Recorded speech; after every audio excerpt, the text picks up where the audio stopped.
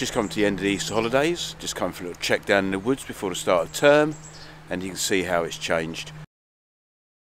And is now ready for me to make my wild garlic pesto. So let's pick some. Little tip, when picking your wild garlic, look for a space where it's not covered with trees, it's quite open.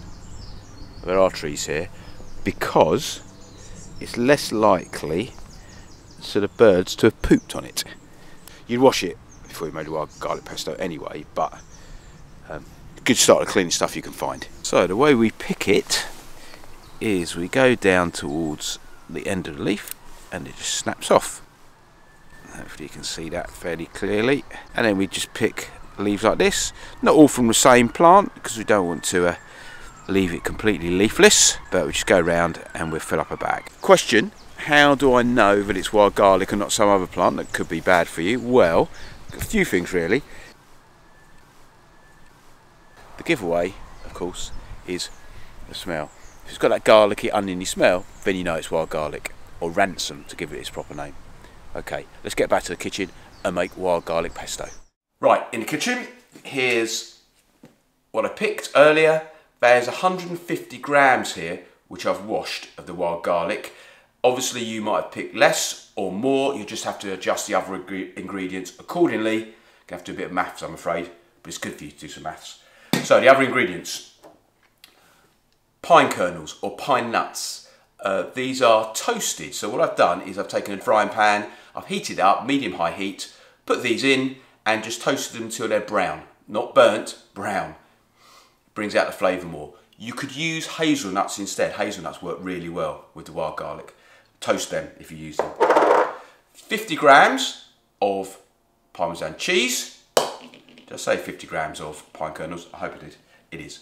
Salt and pepper one garlic clove chopped, the zest of half a lemon, a bit more there, but I go the Italian route of erring on the side of too much, and some lemon for squeezing in. And then the ingredient, obviously, that's very important is the oil in pesto. This is extra virgin olive oil. You'd expect me to use this, wouldn't you, if you knew my the only pasta sauce you're ever going to need. Some people find just using extra virgin olive oil, and it's 150 millilitres here, a bit too much. So what you could do is use 75 millilitres of the extra virgin olive oil and 75 millilitres of sunflower oil, which doesn't have such a strong taste. Um, I'll put the alternatives in the recipe in the description. It also works really well with 150 millilitres of rapeseed oil, so you could use that as an alternative to the extra virgin olive oil. So all we've got to do now is chop our wild garlic, and then it all goes in a food processor. With this recipe, obviously you're going to need some equipment to blend it all up. I have a food processor here. You could use a blender. Uh, one of those hand blenders would work, um, but you will have to have something to do this, so you may have to borrow it. So I've roughly chopped the wild garlic simply to make it easier to get into the food processor. Then in go the pine nuts, the parmesan. Don't worry, I'm not going to chop the things off. It won't work until the lid's on. That goes in. The garlic, and a lemon zest, not the oil at this stage. So lid goes on, and we're just gonna blitz it to a fine paste.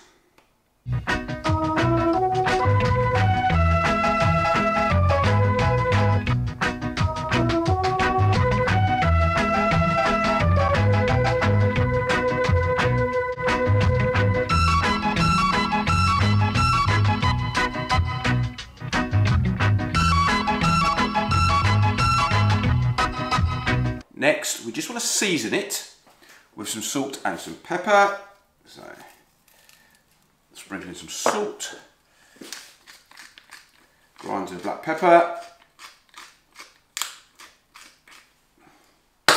and then we add our oil. Not all the oil, but most of it.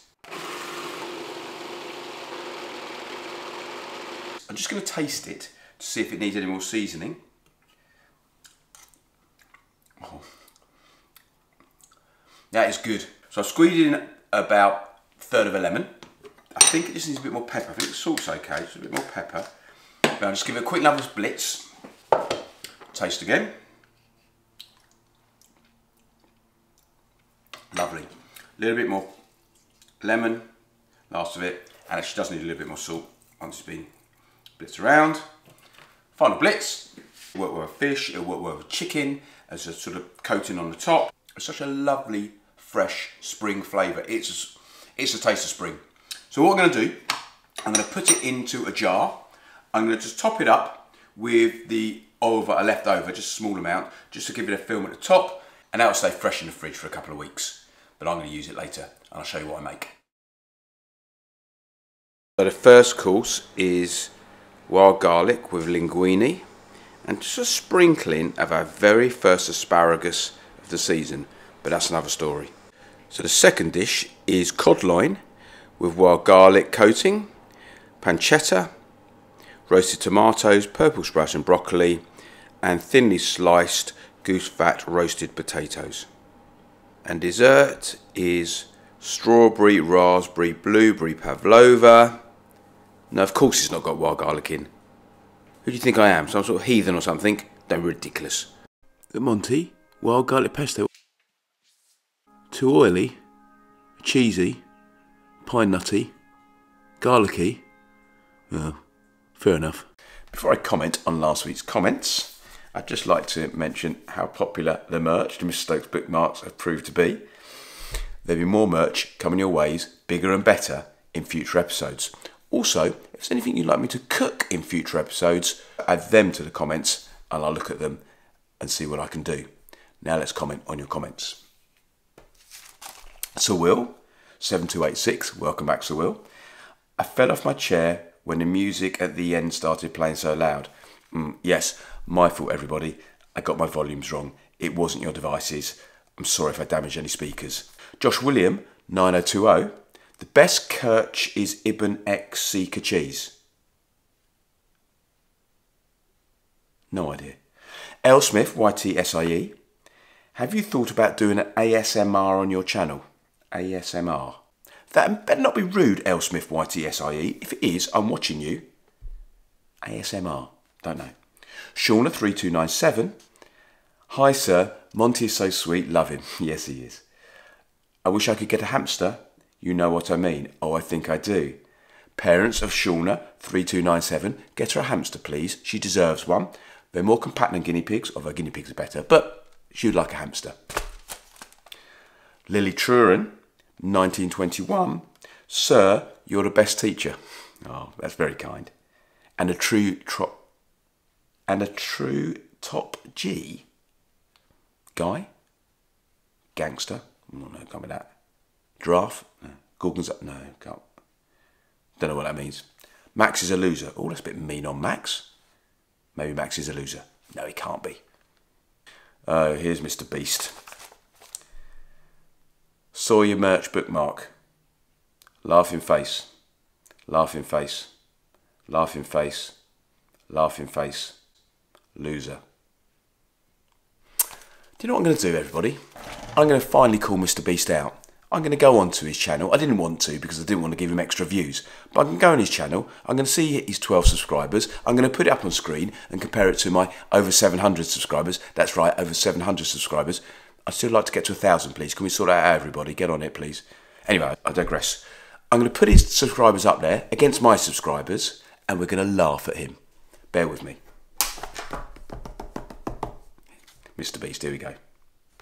Search. Subscribers.